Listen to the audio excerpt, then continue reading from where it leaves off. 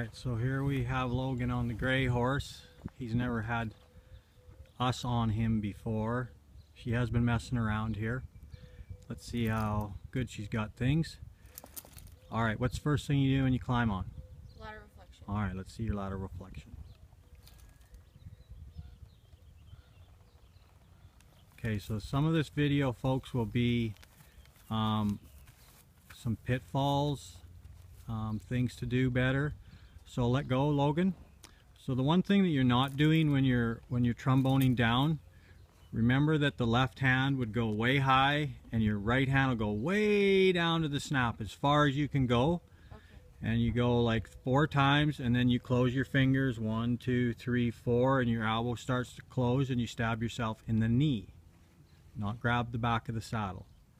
All right, let's see you do it again. One, there you go. Two, three, four. Go to the horn with your other hand. Take a deeper, there you go. That's the right way to do lateral flexion. Just hang in there, push on the horn, look at the ground. You're going there. We then good job.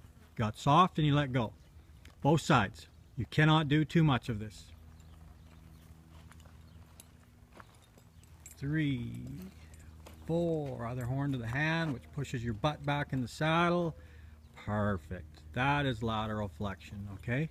So what you were doing was you weren't going down very far, right? And then again, you were getting to where you're running out of room with your hand and it was coming way up high to try and get them to be soft. And then you tried to grab the back of the saddle. That's when you're moving, okay? So just one more time, lateral flexion each side.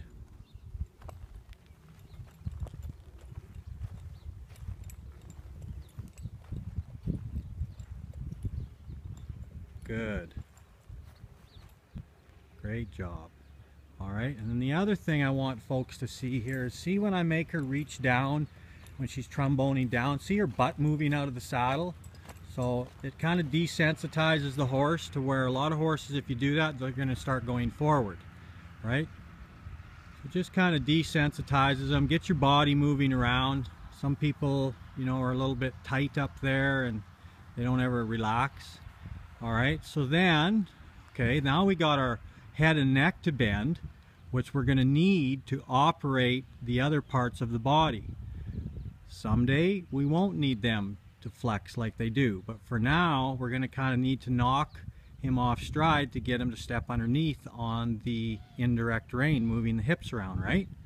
But we need our lateral flexion first. Now we have it, so let's just see you move the hips to your right. First of all, you get the neutral or the control rein. Three, four. Now we have a control rein. Things are soft. Now focus with your indirect rein. Focus at the hips. Focus. Really look at them hips and push with your with your foot. There you go. And let go. Right?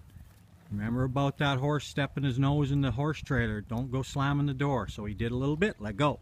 The release is what teaches, okay? Um, and um, what was I going to say there? Something else that was really good. But anyways, do the other side. One, two, three, four. Closes them fingers. One, two, three, four. Really focus on them. There you go. Now that was what was good. See how her butt moves her pockets. She gets off her pockets to move the hindquarters. So in order for a horse to move his hindquarters, you have to shift his weight onto his front end. So some of horsemanship is called get in unison with your horse. So if he shifts his weight forward and he needs it shift forward to do, you shift your, that's why you get off your pockets. Because when we do the direct supporting rein, what are we going to do with our pockets? We're gonna get We're going to get back on our pockets because he gets, he shifts his weight to his back end so he can move his front end, right? Now remember folks, exaggerate to teach and refine as you go along. Yeah, someday we won't have our hands so wide and, and moving our pockets so much. But you know, it's like when we were in school, grade one, how big were the A, B's, and C's at the front of the room? On the, the alphabet. Huge. They were huge, right? Because we're in grade one. And then as we got up the grades, you could barely see them anymore. They're small, right? They don't even have them there anymore, right? Exaggerate, teach, and refine as you go along. Okay, hips, again, both sides.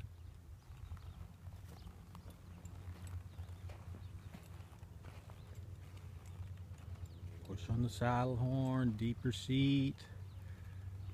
Turn that pinky up. There you go. Great job. He steps underneath. Other side.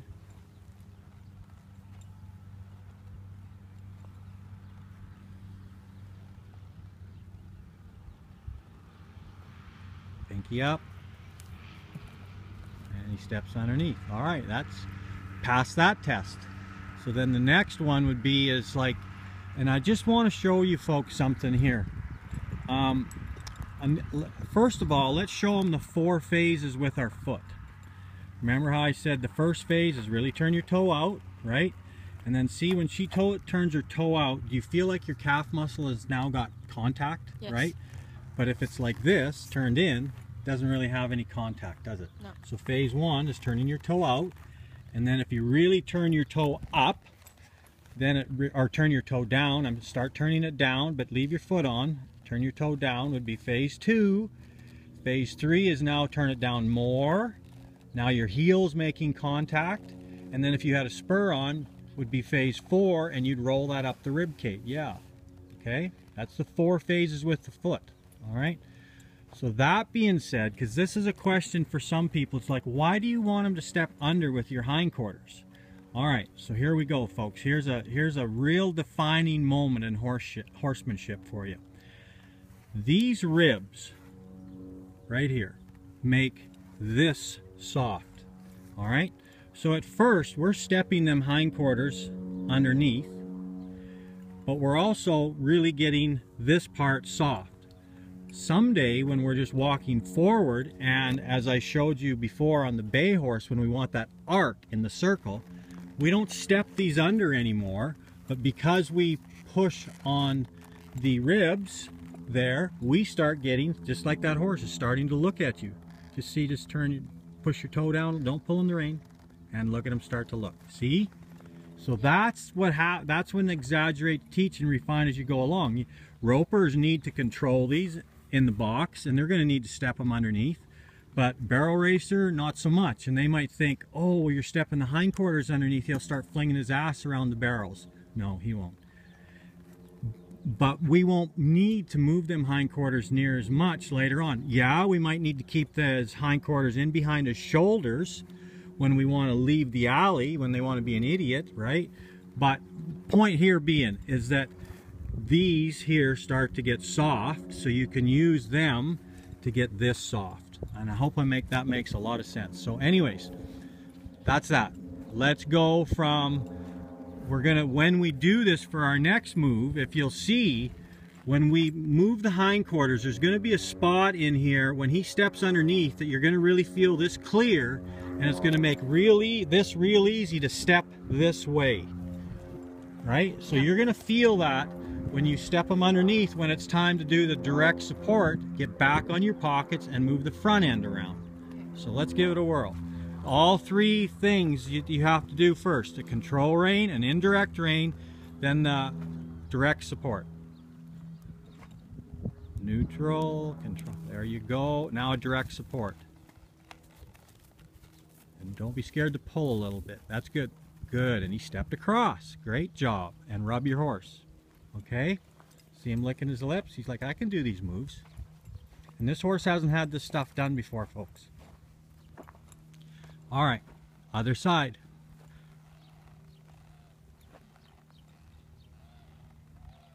It's already starting to give you his head. Steps underneath, direct support. Get back on your pockets, lean back. Kind of walks around the front a little bit there. So that could get a little bit better. And understanding while we're here that this direct rein here controls this foot and the supporting rein over there controls that foot, the outside foot. So you'll feel it. You're going to knock them hindquarters out of the way and then you're going to feel when you can sit back on your pockets and pull the front end through. Okay?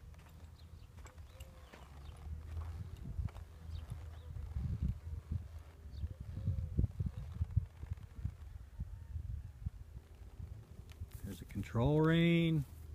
She's gonna wait, pinky up. And there's a nice direct rein, moves the forequarters through. Wasn't phenomenal, but pretty darn good. Percent a day, what do we got in 100 days, right? Other side. Now remember, pinky up on your indirect rein. She's just kind of going like this into her belly button. Pinky up.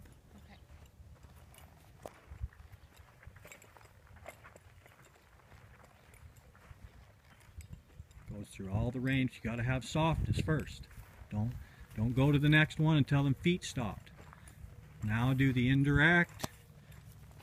Moves the hindquarters. Now lean back and move the forequarters. Great job. All right, folks, there we go. There's she's operated all four corners of that horse, and I would have to think she got more than a percent better than it was before. So we get a percent a day. In 100 days, we get 100%.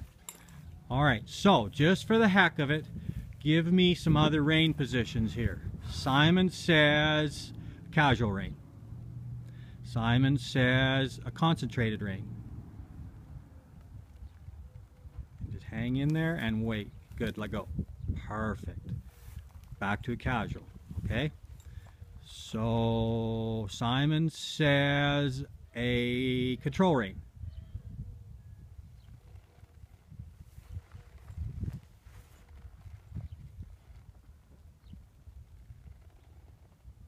Okay. Give me a neutral rein. Simon says uh, casual rein. All right. Give me uh, control rein on the left side. Simon says.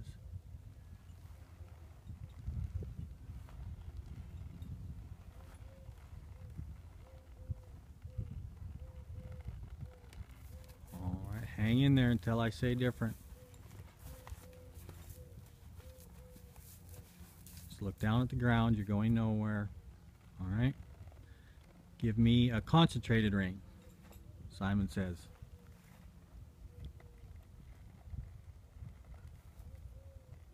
Okay. So if you don't, and remember that you can, when you feel him go to back up, really turn your toes out and push him into the bridle so he doesn't go back. All right. One more time. Hey, Simon says. Simon says, give me a concentrated ring. Squeeze with them feet. Great job. All right. Nice job today. All right. Thank you.